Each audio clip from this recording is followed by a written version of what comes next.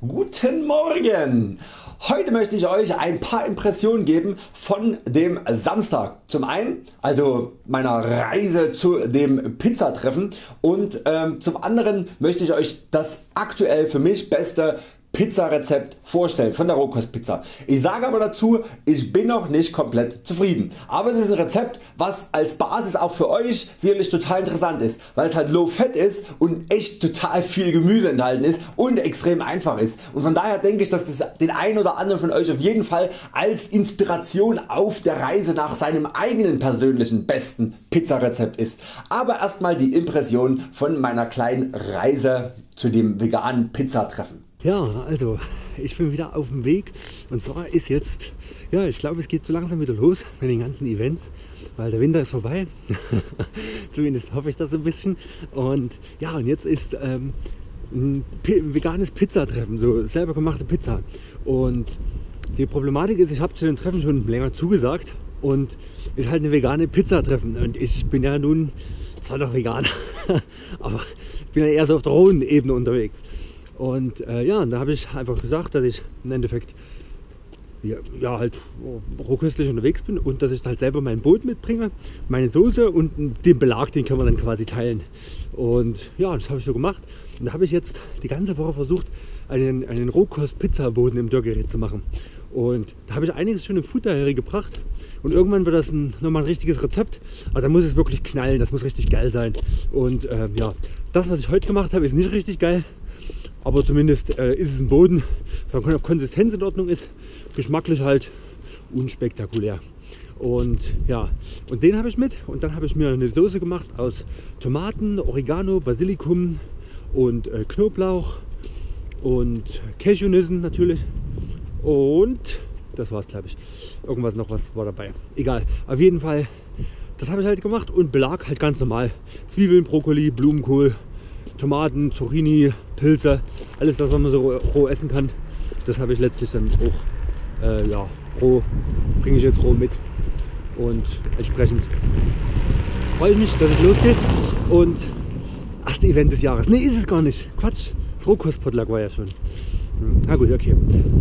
Das soll es von hier gewesen sein und vielleicht gibt es da auch noch ein paar Eindrücke visuell. So, ich bin doch nicht der Einzige, der hier eine Rohkostpizza isst. Er geht ja jetzt in den Schatten hier. ja, also das äh, ist sozusagen die Konkurrenz. Ist natürlich größer und das ist der Teig ist aus was? Aus Buchweizen? Ja, aus äh, Buchweizen, über Nacht äh, gewässert mhm. und äh, goldene Leinsaat. Aha, cool. Mit Pinienkernen und sowas. Ist auch lecker. Und das ist meine bescheidene Mahlzeit. Das Rezept ist von Rohkost Lady. Das Rezept ist von Rohkost Lady. Aber Rohkost Lady äh, heißt gefühlt jeder dritte Rohkostkanal. Ja, na die, äh, die Internetseite rohkostlady.de. Achso, okay. Kenne ich auch nicht. Auf jeden Fall. Ich habe nur gegoogelt, da kam das. Warst ja. du bei der Big Lebowski Party? Ich war nicht bei der Big Lebowski Party, weil ich ja keinen kein halt, der mit mir hingeht. Oh. Allein war es mir doch ein bisschen blöd. So, das sind dann hier sozusagen äh, einfach nur das zum drauf und da habe ich noch. Machen Was kommt noch was? Badewannenparty bei mir. Eine Badewannenparty. Da muss aber eine große Bade. Ach, eine Bademantel ist da eine Badewanne. Ja, Pyjama-Party. Perfekt.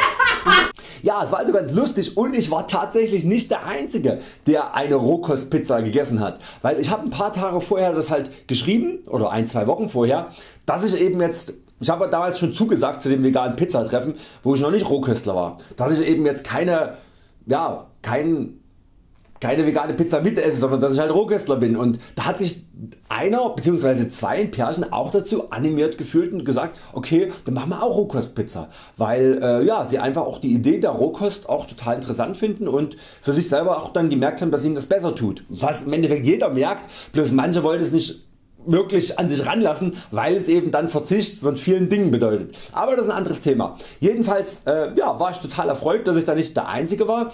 Und weil die Rohkost ist natürlicher. Also wenn man schon sagt, vegane Ernährung ist so, wenn man sich trifft mit Freunden oder sowas, schon problematisch. Aber Rohkost, ist dann halt wirklich noch eine Ecke schärfer. Und äh, entsprechend war es wunderbar für mich, äh, dass es total komplikationslos war. Und dass die Leute, manche haben halt in den Ofen ihre Pizza geschoben. Es gab auch einen, der war Fleischesser dabei, obwohl es eigentlich vegan ausgeschrieben war, veganes Pizza essen, aber drauf geschissen. Auf jeden Fall, ähm, ja, der hat halt seinen, seinen Käse und so gemacht und äh, ja, und der andere hat halt äh, Rohkost gegessen und der andere hat halt mal von allen gekostet und das war auch interessant, dass halt die Leute von meiner Rohkostpizza gegessen haben und eigentlich allesamt begeistert waren und das war noch das absolute Standardrezept wo noch nicht groß was war und das ja also war ich selber nur nicht zufrieden damit und, aber jetzt habe ich eine Pizza mit der ich zufrieden bin.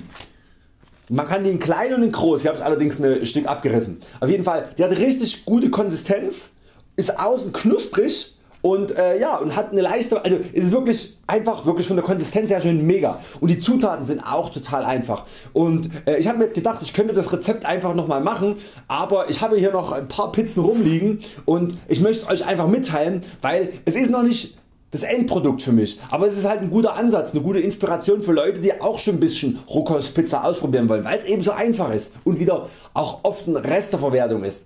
Und zwar dieses äh, Pizzarezept ist für 8 Pizzen, 8 solche Pizzen. 600 Gramm Blumenkohl, 400 Gramm Zucchini und das ist im Endeffekt schon fast alles. Und dann kommt nur noch kleine Sachen dazu und zwar 20 bis 25 Gramm Leinsamen, 20 bis 25 Gramm Hanfsamen ungeschält, äh, dazu 10 Gramm Flohsamen, scharf, äh, Flohsamen Flohsamenschalen gemahlen. ich habe es immer noch nicht gelernt. Genau das und äh, eine Prise Zucker und eine Prise Salz. So und äh, ja das also das werden vielleicht 5 Gramm oder lass es mal 10 Gramm Salz und Zucker sein, aber das ist eigentlich dann keine Prise mehr. Das müsst ihr selber für Euch entscheiden. Für mich ist halt äh, bei so einem Pizzateig immer Salz, Zucker, eine Prise dran. Naja, auf jeden Fall äh, und das ist das Rezept und das war's. Also im Endeffekt nur Blumenkohl und Zucchini, äh, relativ wenig Samen auf 8 Pizzen verteilt. Könnt ihr euch mal ausrechnen, das kann ich Euch mal ausrechnen, das sind ungefähr 5 Gramm Samen pro Pizza. Das ist natürlich äh, gar nichts. Und ja und entsprechend ähm, ja, die Pizza schmeckt jetzt so ein bisschen, wie soll ich sagen, so Sauerteig ähnlich, also bisschen, also ein bisschen säuerlich würzig. Ähm, ich hätte die gerne noch ein bisschen milder und äh, ja muss ich halt mal schauen was ich da, was ich da, was ich da mache. Auf jeden Fall äh, als Grundrezept, also wirklich also das Grundrezept wäre äh, 600 Gramm Blumenkohl und 400 Gramm Zucchini und 10 Gramm Flohsamenschalen. So, und Ausgehend davon könnt ihr schauen, ein bisschen Fettigkeit in Form von Samen und Omega 3 Fettsäuren Leinsamen würde ich Euch empfehlen. Hanfsamen ist halt auch Omega 3 und äh, mag ich geschmacklich sehr gern diese, diese leichte Hanfnote und deswegen habe ich das mit reingemacht und halt Salz und Zucker. Aber man kann halt noch variieren. Man kann natürlich auch direkt in den Pizzateig Oregano reinmachen, Basilikum machen oder italienische Kräutergewürzmischung direkt. Ne? Ihr könnt ja schon damit arbeiten. Ist halt die Frage was ihr in der Soße macht.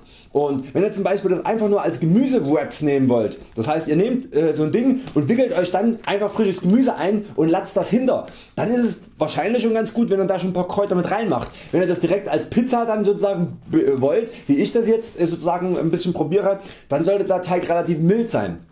Der Blumenkohl, der Zucchini ist relativ mild, aber der Blumenkohl hat schon eine gewisse ja, also da kommt schon was durch und das müsste man irgendwie neutralisieren und da bin ich zurzeit ein bisschen am, am Tüfteln und am Arbeiten. Also wie gesagt ich wollte Euch da nur auf dem Laufenden halten äh, ja, wie es da bei mir ausschaut. Das als Grundinspiration wenn ihr auch ein bisschen ausprobieren wollt und ich wünsche Euch weiterhin eine wunder wunderschöne Woche und wir sehen uns morgen wieder. Macht's gut Euer Christian. Tschüssi.